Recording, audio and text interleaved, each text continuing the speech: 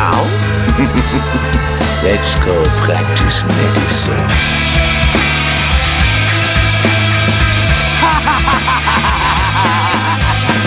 Here's the power of Dr.